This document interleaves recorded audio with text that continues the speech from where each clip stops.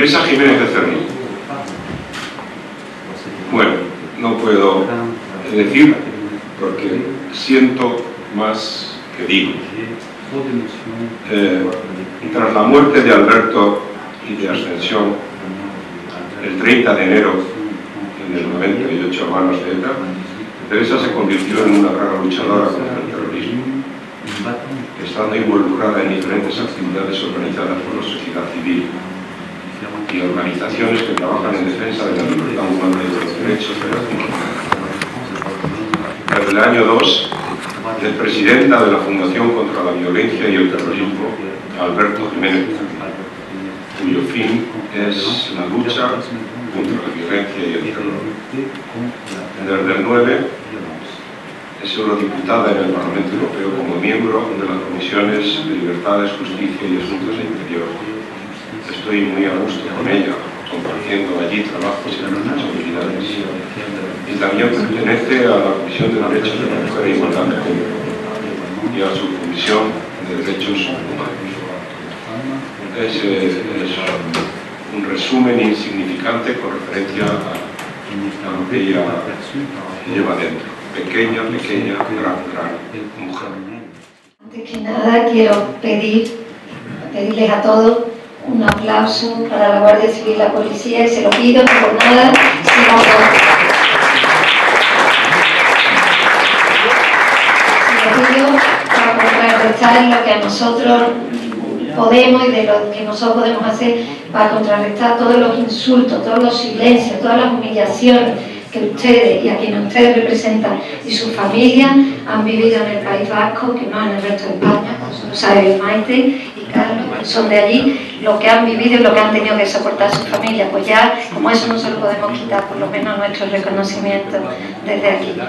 Y también aplaudo este debate organizado por, por Agustín Díaz de Mera para sensibilizar a Europa de la manera de, de, del terrorismo y la mejor manera de hacerlo, que es, como bien ha dicho él, trayendo la mirada de las víctimas, ¿no? que son quien, quien más de cerca lo conocen y quienes nos pueden ayudar a no caer en el olvido y en la manipulación, en esa, en esa tentadora intención de olvidar, que es lo que estamos también en muchos casos viviendo en nuestra sociedad.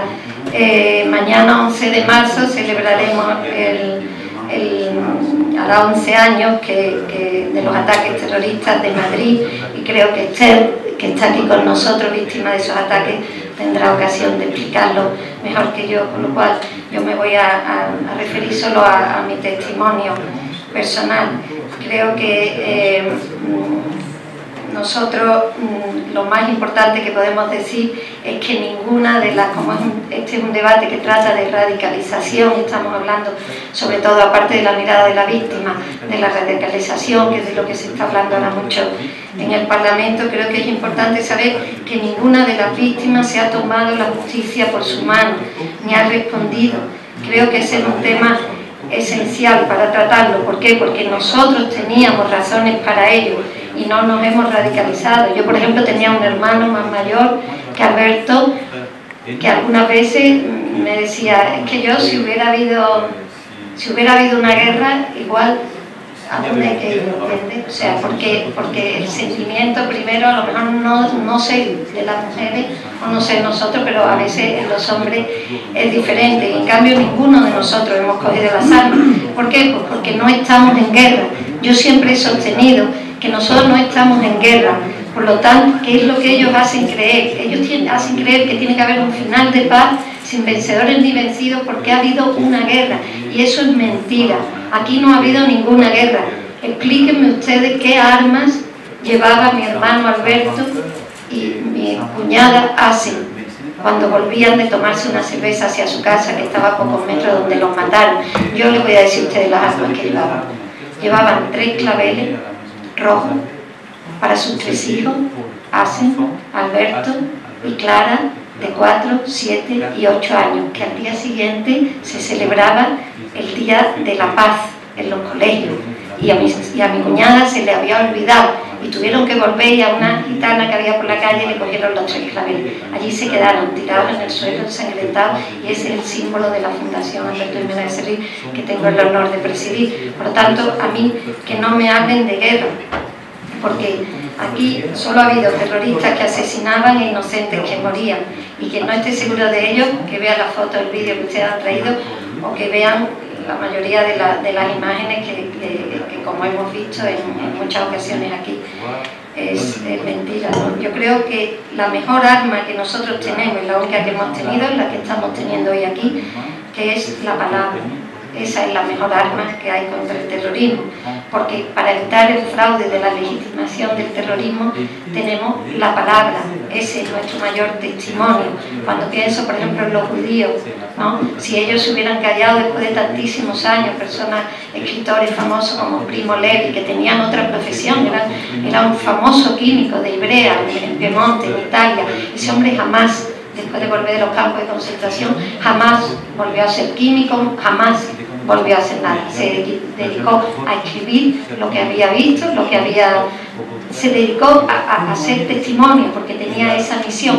Pues en ese caso yo creo que nosotros las víctimas ya nos gustaría a veces no serlo o no tener que hacerlo, pero no podemos, lo tenemos que hacer, como también lo sabe Guillermo, y como lo sabemos todos, tenemos que la obligación de recordar que no siempre, que no siempre es, la, es lo que quisiéramos, no es fácil, no es fácil. A mí no, no, se, no se me apetece tener que estar siempre, siempre recordando que a mi mamá le pegaron un tiro por detrás, que a su mujer le pegaron un tiro cuando lo estaba sosteniendo, y tengo que decirlo no ante ustedes, ante ustedes no tengo que estar porque ustedes ya lo saben y ustedes lo sienten como yo, pero es que aquí hay muchísima gente que ni lo sabe ni lo siente. Y les puedo decir que empatizan igual o más con los terroristas o con el círculo que está alrededor de los terroristas que con sus víctimas. Y con lo cual hay que estar continuamente haciendo como un, trabajo de, reflexión. Por eso yo aquí, mm, desde que vine, pues he intentado hacer pues, hearing o, que le llaman aquí, o conferencias como estas, también exposiciones de fotos de la Fundación Miguel Ángel Blanco, pues para que se metan por los ojos. Yo digo, ellos no quieren ver el terrorismo, nosotros le traemos el terrorismo a casa, ¿no? para que no tengan más remedio que ver las consecuencias del terrorismo, porque el terrorismo no es solo, eh, por supuesto son muchas cosas, pero las consecuencias reales son las víctimas. ¿no? También hemos hecho el otro día la, película 1980 de Iñaki Arteta, que habla de todos los casos que allí la Guardia Civil y la policía era, increíble, o sea, salían por la mañana sabiendo ya que los podían que, los, iban a morir, muchos de esos pueblos perdidos del País Vasco. ¿no? yo creo que no hay un argumento posible para matar a inocentes, no hay tierra, no hay Dios, no hay bandera, no hay nada que legitime el terrorismo. Y da igual que ellos se busquen eh, ideas y decidan que hay algunos atentados que son más legítimos. No, todos son condenables. Tan condenable es la muerte de uno de esos muchachos en el País Vasco, guardias civiles o policías que mataban, como la de sus hijos inocentes en el cuartel de la Guardia Civil cuando esta gente dejaba el, camión o lo que fuese, la furgoneta, echaba abajo una rampa cuando estaban escuchando a los niños que es lo que yo dije el otro día en la conferencia de prensa cuando estaba aquí los de Cherar ¿eh? cuando estaban aquí los de Chedac que vinieron, que Maite lo sabe porque hicimos una conferencia conjunta, vinieron aquí a pedir eh, compresión, apoyo y todo tipo para, porque ellos tienen que hacer muchos kilómetros, entiende, para ver lo suyo y el Estado de Derecho español, en España no hay Estado de Derecho, en España se violan los derechos humanos y esta gente tuvieron mucha gente que lo reunieron, que lo cogieron, entre ellos eh, los comunistas que aquí están dentro del GUE, el, Podemos, el grupo este Podemos, le, reunieron dentro de su delegación, o sea, de su grupo parlamentario, le dieron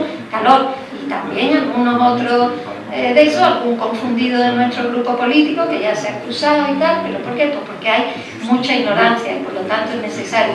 yo les expliqué, yo expliqué eso, que soltaban el camión y mataban a los niños que los estaban escuchando y ellos, estos de Cherá, que se dicen familiares, que no son familiares, son directoras, son eh, abogados, son cómplices, son encubridores y algunos familiares, pero también todos los otros, estos no han condenado estos atentados, no solo nos han condenado, no, no, les han hecho colaborar con la justicia, porque como yo digo, una de las veces que vayan a verlo ahí, vis a vis, que hagan todos esos kilómetros, que ya quisiera mi madre poderse hacer esos kilómetros hasta el cielo y, recorrerse medio mundo para ver a mi hermano media hora y no puede hacerlo, pues una de las veces que vayan, le digan, si quieren ustedes mejores condiciones, ríndanse, entreguen las armas, que yo desde luego al día de hoy esta gente no la han entregado, y entonces a lo mejor el Estado español y las víctimas y todo el mundo tenemos otra actitud de la que tengamos. Ustedes tengan esa actitud soberbia, riéndose en los juicios, sin pedir jamás perdón, y es imposible que nos pidan a nosotros nada, no le podemos dar nada al día de hoy porque ellos no hacen nada para que nosotros se lo demos. Dice, ustedes son eh, buscan venganza, son radicales, hablando de radicalización. Nosotros no somos radicales. Y si radical es pedir justicia, pedir memoria, pedir verdad y pedir dignidad, a mucha honra, Teresa Jiménez Becerril es radical contra el porque eso es lo que ellos quieren, presentarnos como que nosotros no queremos pasar página, ¿no? Pero ¿qué página vamos a pasar si ni siquiera se han disuelto ustedes?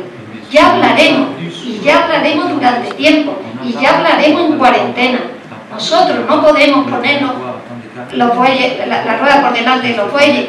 ¿Cómo nosotros vamos? Encima de que nos han matado los nuestros, encima de que han dejado tres niños huérfanos, encima de que, encima nosotros tenemos que ser los comprensivos, los que tenemos que comprender. No, ustedes primero ríndanse, ustedes primero hagan lo que tienen que ser, hagan así. ¿Cómo es posible que al que mató a mi hermano le den, es un pueblo de Navarra, Pablo, de tu tierra, mi le dieron un homenaje el alcalde de Vintu, de ese pueblo, le dio hace dos años un homenaje en el que estaba brindando con champán, están las fotos yo fui a la audiencia con, el periódico, puse una denuncia, bueno, no ha prosperado, pero vamos, que no quede por mí el haberlo denunciado como apología del terrorismo, humillación a las víctimas y todo lo demás. Nosotros, ¿cómo podemos eh, aceptar eso?